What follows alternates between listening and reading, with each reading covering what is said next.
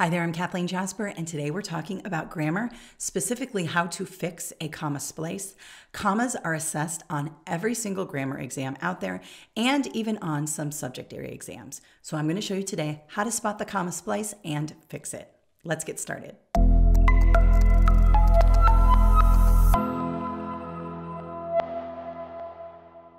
Right, so let's just take a look at our blueprint for the Praxis 5723, which is the writing section or the grammar section of the exam.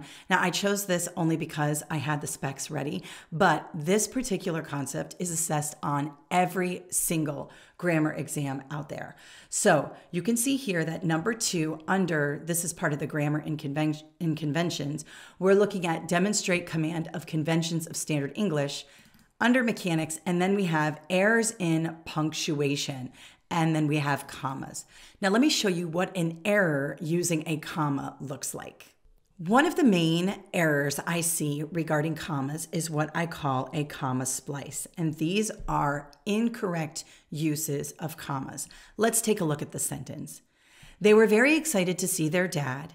He had been away for three weeks and we have it separated by this comma here. Now, this is called a comma splice because the comma is separating two independent clauses incorrectly. And that's what we call a comma splice. So we have an independent clause here and an independent clause here. Let me just recap what an independent clause is. An independent clause is something that can stand on its own. So if I were just to say they were very excited to see their dad, that could stand on its own as a sentence, right? They is the subject, were very excited is the verb or the predicate. They were very excited to see their dad. You could put a period there, it could stand on its own. Now, the second part here, he had been away for, th- for three weeks.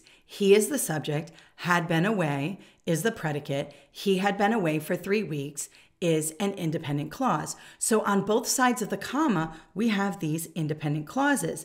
And the comma is weak. So I'm just going to put comma equals weak. The comma alone is weak. It cannot separate two independent clauses. I see people do this in their writing, and I see this on exams all the time. So, whenever you're looking at your exam or editing your writing, always take a look on both sides of the punctuation. In this case, we have a comma. We want to make sure that we're not separating two independent clauses with the comma. Let me show you how to fix this. The most obvious fix is simply putting a period in between the two independent clauses. They were very excited to see their dad, period.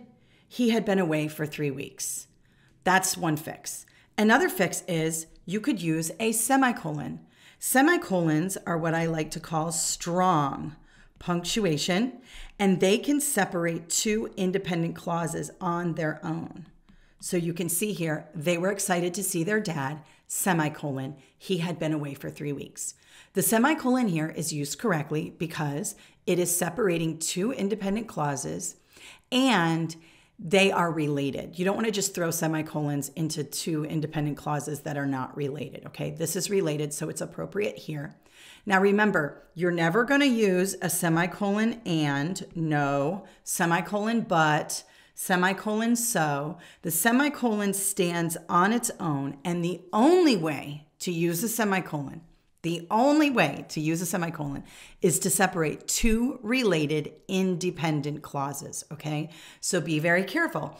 If you see a semicolon on your grammar exam or in your writing, make sure you have two full sentences on both sides and that they are related, okay? And you don't have this semicolon and semicolon but. That is incorrect. The semicolon just stays on its own. It's strong enough. It doesn't need any help from any conjunctions. Now, another way to fix this sentence is simply by putting a subordinating conjunction in between the two independent clauses. Now, a subordinating conjunction is a strong conjunction. So I like to match the S. Subordinating is a strong conjunction. And this will make more sense as I go through weaker conjunctions in just a second. Because is considered a strong conjunction or a subordinating conjunction. Notice that I have, they were very excited to see their dad, an independent clause, because he had been away for three weeks, another independent clause. The because is strong enough to separate the two independent clauses, and you do not need a comma. On the exam, if you see a comma because, that's a red flag. It's wrong, and you should remove the comma when appropriate. So they were very excited to see their dad, independent clause, because strong subordinating conjunction, he had been away for three weeks. So that works there. No comma or punctuation needed. Now, quickly, I just want to review another way in which you could use because as a subordinating conjunction. What you can do is rearrange the sentence here. And this is where the comma becomes appropriate in this situation. Now, notice that I rearranged the sentence. Because he had been away for three weeks, they were very excited to see their dad. All right, so I took the subordinating conjunction, stuck it in the beginning of the sentence, and then had the rest of the clause there. What I've done here is turned this into an intro clause. Because he had been away for three weeks, comma, pause, they were very excited to see their dad independent clause. Now, this right here becomes a dependent clause because it is dependent on the rest of the sentence. If I just walked up to you and said, because he had been away for three weeks, and I walked away from you, you would be waiting for like the rest of the sentence, right? So when we take that subordinating conjunction and put it in the front, we do need this comma because a comma is strong enough to separate a dependent clause and an independent clause. For example, because the upcoming test was so important, comma, she studied for three weeks straight. She studied for three weeks straight is the independent clause. And because the upcoming test was so difficult, I think I said, um, that becomes your dependent clause. So a comma would work there. So notice how we put the subordinating conjunction in the front of the sentence. And yes, you can start a sentence with because in this way. You need that comma to separate the dependent clause and the independent clause. But when it's like this, here, they were very excited to see their dad. He had been away for three weeks. That would be incorrect because it is separating two independent clauses. Now let's try another comma splice and I'm going to show you another way to separate it. So we have another incorrect, we would put an X on this, comma splice. Some people tried to climb the mountain.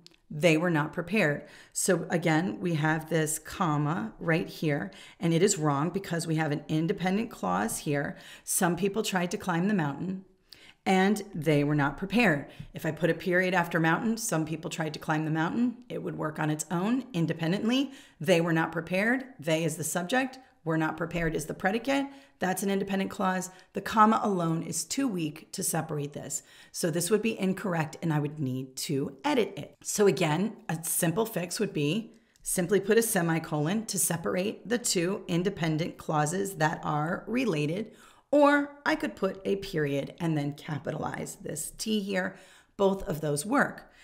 But I'd like to talk to you quickly about coordinating conjunctions. Now remember, subordinating conjunctions, the S equals strong, right?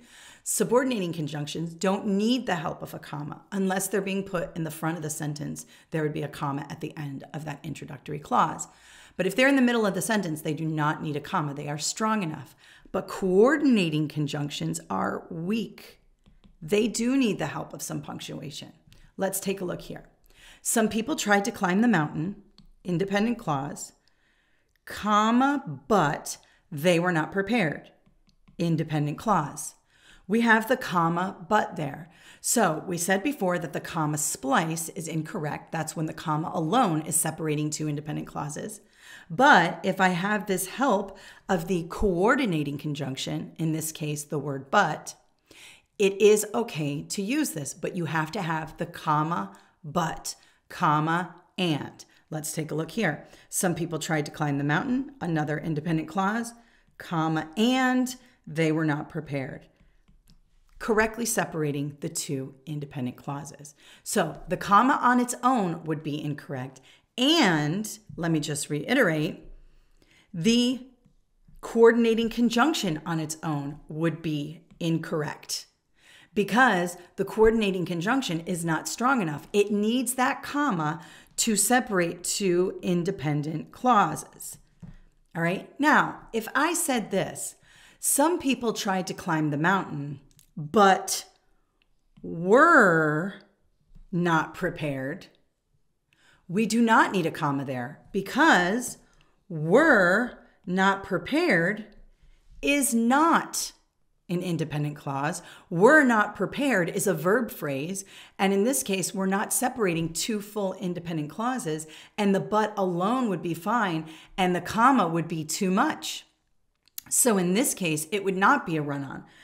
But if I have this they there, they were not prepared. Now I have two independent clauses and I must have the comma. All right. So in this case, we would add the comma or we could edit it so that we have the independent clause on one side. Some people tried to climb the mountain, but were not prepared. Same with this run on. Some people tried to climb the mountain and were not prepared. In that case, again, it is not a complete sentence on the other side of the coordinating conjunction, so you don't need the comma. But as soon as you add that subject, as soon as you have they were not prepared, they were not prepared, you need that comma conjunction, that comma coordinating conjunction. Now, let me give you a quick tip on how to memorize your coordinating conjunction. I like to use the acronym FAN BOYS. Fanboys stands for for and nor, but, or, yet, so. Now, most of the time on the test, you will see the and, the but, possibly the yet, definitely the so. These are the ones. Oh, and the or. The for and the nors, the F and the N, those typically come with Old English. We don't use for and nors a lot when we're talking about um, sentences, although you might see something like, he was neither happy nor sad about the move. You might see something like that. Remember, neither goes with nor and either goes with or. I'll do another video on that at another time. But to remember your coordinating conjunctions, your weak conjunctions, you can use the acronym FANBOYS for and, nor, but, or, yet, and so. And remember to separate two full independent clauses, they must have a comma with them. Comma plus CC or coordinating conjunction equals strong. And in that case, it can separate two independent clauses. So I hope that clears things up for you regarding the comma splice. Remember, you got to learn how to spot it and how to correct it for your grammar exam. Now, if you need help with your grammar exam or any praxis or teacher certification exam out there, we have tons of resources on our website. Go to kathleenjasper.com and you'll be able to find things to help you there. Also, consider giving this video a thumbs up and subscribing to our YouTube channel. If you have questions about grammar, throw them in the comments below and I'll be happy to film about them. And I hope you have a great day. Thank you so much.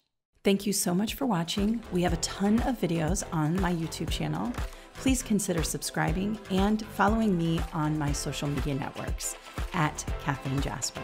Have a great day.